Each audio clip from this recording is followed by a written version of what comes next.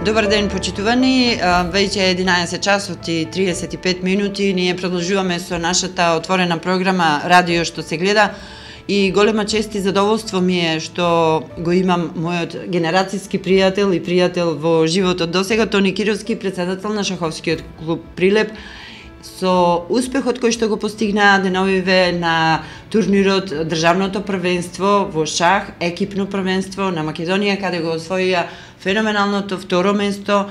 што е најголемиот успех досега на шаховскиот клуб Прилеп. Честитки за освоеното второ место и да не кажете што значи ова, бидејќи еве изминативе 30 години Единствено што слушаме е дека шампионската титула е резервирана за шаховскиот клуб Алкалоид, но Прилеп секогаш тука, секогаш е во врвот, секогаш со успеси кои што досега еве биле недоволни за ова а, сега освоено второ место.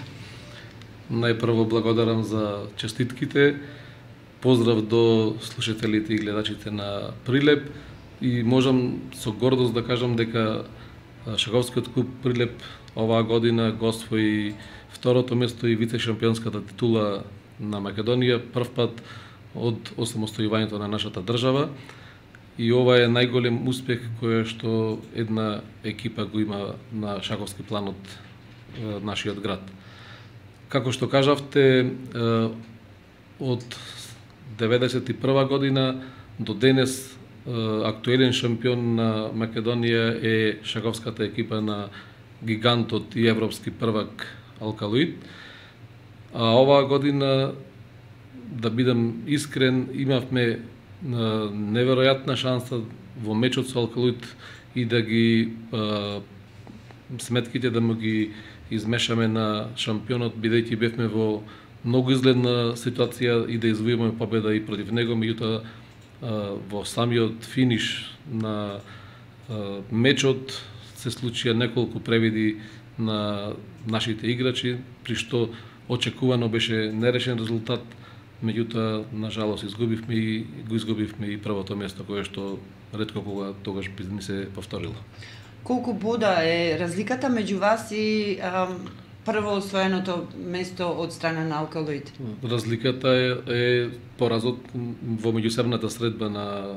прилеп со алкалоид, иначе ќе бевме исти бодови или доколку го победевме ќе бевме и бод пред алкалоид и ќе освоевме шампионската титула. Еве можам само, само критични да кажам дека решавачка беше партијата меѓу Филип Панчевски, најдобриот по моментот македонски шахист и и јас, по која што со оглед на моменталната ситуација на таблата, сите прогнози и компјутерски и човечки беа дека сум во многу подобра позиција, меѓутоа во цајтнот во направив еден непрецизен потез и веќе партијата го смени смерот на на победникот и Филип Панчевски успеа да ја добие партијата и да го добие мечот Алкалите. Предпоставувам тоа е кога ќе се каже кај спортистите изгоре од желба за победа. Точно така. Веќе ја, ја гледав јас и како капитен и како председател на екипата, веќе се гледавме на победничкиот пиедестал, меѓутоа од преголема желба направивме грешка јас и нашиот велемајстор Мирослав Милковиќ кој што во партијата со српскиот велемајстор Ринџич во тотално реми позиција направи груба грешка и ја загуби ја загуби партијата. Бидејќи јас не сум во тек во однос на формите како се изведува државното првенство, дали имате ограничување на време, се знае ли колку време треба да биде една партија или пак а, тоа е независно од од времето кога се игра партијата? Значи, државното првенство се игра со стандардизирано темпо од 90 минути плюс 30 минути додаток после 40-тиот потек со додаток од 30 секунди за секој одигран потек, што значи дека во принцип една партија максимално би трајала од 5 до 6 часа во, во овој формат и тоа е ова стандардизирано темпо кое што во последните неколку години се играат сите европски и светски турнири. Добро е да се знае тоа како информација. Она што сакам да запрашаме, на што се должи овој голем успех, најголем досега од осамостојувањето на Македонија, а инаку Ние како медиум бевме во тек дека вие организирате многу турнири, а тоа беше уште најавено на последното ваше гостување во Радио Пела кога кажавте дека се активирате како шаховски клуб уште повеќе со едно темпо на работа кое што е убаво да се следи бидејќи ве очекуваат многу активности. Па јас мислам дека најголемата придобивка за овој огромен успех на нашиот клуб е нашето секој дневно ангажирање околу шахот, а посебно организацијата на секој секој секој неделни турнири организираме и гран при месечни турнири во нашиот град, кој што ги организира Шаковскиот клуб Прилеп.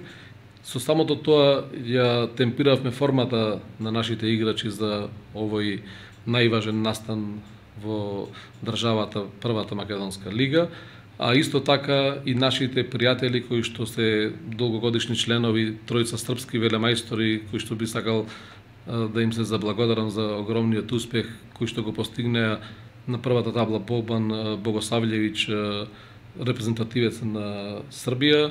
на втората табла Никола Седлак исто бив шампион на Србија. И на трета табла Мирослав Милковиќ велемајстор од Ниш кој што исто темперира форма за овој шампионат со тоа што на десетина дена пред почетокот на нашиот државен шампионат екипен игра на екипниот шампионат на Србија каде што исто покажа забележителни резултати. Овде посебно би ги истакнал одличните резултати на четворицата шахисти од четвртата до седмата табла интернационалните мајстори Дејан Стојановски, кој што прва година играше за нашиот клуб, јас кој што сум долгогодишен стандарден играч на клубот и Фиде мајсторот Славе Трајковски и Кире Николовски кои што сите го дадоа максимумот на овој шампионат за да на крајот бевме убедливо втори со амбиција како што најавив на последното гостување во вашата ценета емисија дека оваа година ќе направиме се да го оствариме нашиот најдобар резултат.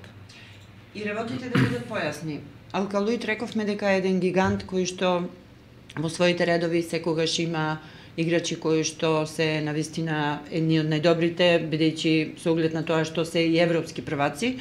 Освен овие тројца српски репрезентативци во Прилепскиот клуб, сите останати предпоставувам дека се прилепчани. Да, со тоа што оваа година ние, како што е информирана и плебската јавност, бидејќи имаме доста активни шахисти во нашиот град, половина од играчите игра за шаховскиот клуб Прилеп и го постигнавме овој резултат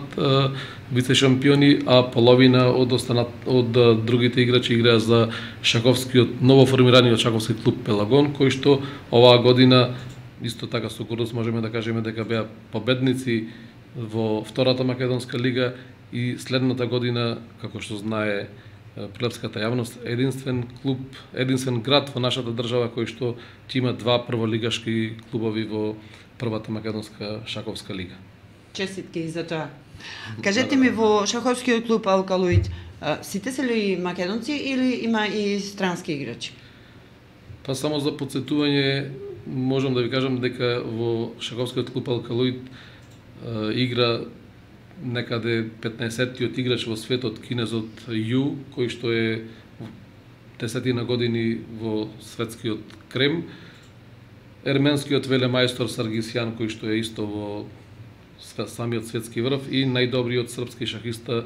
Инджич, кој што е далеку над останатите српски играчи и целокупната македонска елита, почнувајќи од нашиот велемајстор плепчанецот Звонко Станојевски, па до 6 или 7 останати велемајстори кои што се од нашата држава. Е сега прашањето следно е она што повлекува значи ли тоа дека со ова што Пелагон е создаден и веќе влегува во прва лига, е влезен во прва шаховска лига на Македонија, а вие имате една елита, би рекла, на, на шахисти од Прилеп, исто така имате многу активности. Има ли потенцијал Прилеп да биде на вистина пак на врвот до година и да го заземе првото место. Па секогаш амбициите на клубот се да биде најдобар во Македонија. меѓутоа да бидеме искрени, буџетот на Шаговскиот клуб Алкалуит е сигурно 50 пати поголем од буџетот на Шаговскиот клуб Прилеп. Со самото тоа кажува дека ние колку и да се појачаме, Алкалуит може десетоструко да се појача така што тешко би излегле на крај, меѓутоа оваа година, верувајте, гледајте ги позициите и очекувањата на публиката на самото место во хотелот Дрим во Струга беа сите во очекување дека ќе се случи прв пат Алкалуит да ја загуби шампионската титула. Меѓутоа од преголема желба имаше ли публика? Да, значи имаше доста гости кои што присуствуваа на надпреварите бидејќи во исто време се играше и првата македонска машка лига и првата македонска женска лига. Рековме дека вие оваа година навистина сте многу активни, многу турнири, но она што е за поздравување е што шахот влегува во училиштата. Ајде кажете ни во однос на овие настани, како ви се организирани, како сите тие организацијски работи ги совладувате со оглед на тоа што речи, речи си секојдневно имате по некој настан поврзан со шахот, било тоа да е турнир во Прилеп или пак е а, во училиштата. Денеска доаѓате од индустријско училиште каде што има турнир во шах. Е, па само самото тоа што силно ќе заврши првенството на Македонија Денес од 8 часот веќе ги имаме првите училишни надпревари официјални со посите светски стандарди во средното општинско училиште Ристеристески Ричко, во од каде што дојдов моментално таму се уште се игра турнирот и ќе продолжи по по завршувањето на ова интервју во вашата емисија. Со надеж сме дека и убедени дека во текот на месец ноември и декември ќе ги завршиме сите е, надпревари во сите општински, основни и средни училишта во нашиот град. И идејата е да го видиме потенцијалот во училиштата, пред се мислам во основните училишта, бидејќи знаете дека сега велемајстори децата стануваат на 12 до 13 години, што значи дека ние треба да почнеме од најмлада возраст, па да едноставно за неколку години дојде и смена на генерации во нашиот град и да овие деца кои што сега почнуваат со работа бидат и предводници на една од двете прилепски екипи, а се надевам дека за брзо време ќе имаме и трета прилепска екипа, бидејќи стварно премногу има шахисти во нашиот град и со самото тоа треба и понатаму да вложуваме во, во шахот. Честитки уште еднаш. Благодарам. Во однос на турнирите кои што ги организирате, каде се организираат и кој се може да се пријави? Дали може некој што не е член на шаховскиот клуб Прилеп да учествува на тие турнири? Па сите турнири кои што ги организираме на неделно и месечно ниво се отворени за сите љубители на шахот и ова е и една отворена покана секој кој што е, има знаење шаковско би бил добре дојден во нашиот клуб бидејќи во зависност од бројот на играчи ние досега игравме во нашиот клуб во старата Прилепска чаршија, меѓутоа кога се случува да имаме преку 20 на, а се случува да имаме околу 30 на играчи на некои од турнирите, играме и бидејќи се игра во недела, играме на отворениот дел во, во самата чаршија, така да тоа е една атракција кога поминуваат пријателите наши во градот, кога не гледаат да играме на улицата во предшаковскиот клуб. Идејата е што повеќе да го масовиме шахот во нашиот град, а оваа година знаете дека почнува и активно да се аплицира и шахот и во прво од прво до четврто одделение во основните училишта, доколку тоа се реализира и има интерес е, помеѓу учениците во основните училишта, ние сме на располагање во секој момент да помогнеме максимум да дадеме од нас за да може да децата да да го добијат она знаење кое што им е потребно. Каков е интересот од жените за шахот? Па со самото тоа што ќе ви кажам дека во Прилеп имаме две шаковски школи, од кои што едната ја води нашата шахистка Јустина Дудка, која што е учител за помладите категории и за почетниците, можете да заклучите дека со самото тоа што таа е женски инструктор и тренер по шах, значи дека и шах, женскиот шах ни е на високо ниво и во незината школа има и девојчина кои што играат шах. Ние како град имаме едни од нај, најдобрите наши шахистки кои што во името на нашата шахистка Татјана Василевска која што беше и првак на бившата СФРЈ, која што во моментов не е во нашиот град живее во Австралија, меѓутоа ние вложуваме и во женскиот шах и за некоја година се надевам дека ќе има видиме и во врвот и во во женска конкуренција. Она што го најавивте пред почетокот на емисијата, сега во подсетувам, е навистина интересно и атрактивно, е дека излегувате и на меѓународна сцена и тоа турнири кои што ќе ги правите со Република Грција. Како е замислено тоа со оглед на тоа што утре заменувате за Грција во преговори за одржување на едни такви турнири? Па утре заменуваме на преговори со четири грчки клубови кои што се од нашиот поблизок регион од Лерин, Воден, Птолемаида и Кожани. И во договор сме заедно со властите во нашата држава да доколку ни дозволат да направиме еден ревијален меѓуграничен меч меѓу четири грчки клубови и четири два прилепски и два битолски клуба во меѓуграничниот простор на Меджитлија со тоа што ми му дале уште еден голем импут и допринос за за шакот во Пелагонискиот регион, бидејќи верувајте, освен Скопје нема друг град кој што може да да да се да конкурира на на прилепскиот шаковски на прилепските шаковски активности и ова заедно со битолскиот со двата битолски шаховски клубови ние сме најголемата сила во македонскиот шах. Ова ќе биде еден поттик и за останатите региони кои што гравитираат во Пелагонија да оформат своји клубови и сега во преговори сме со општините Крушево, Кривогаштани, Долнени од нашиот крај и општините Могила и Новаци во Битолскиот дел да се формираат клубови кои што би биле во втората македонска лига и таму да го подигнеме нивото на на шакот. Бидејќи сепак шакот е една креативна игра која што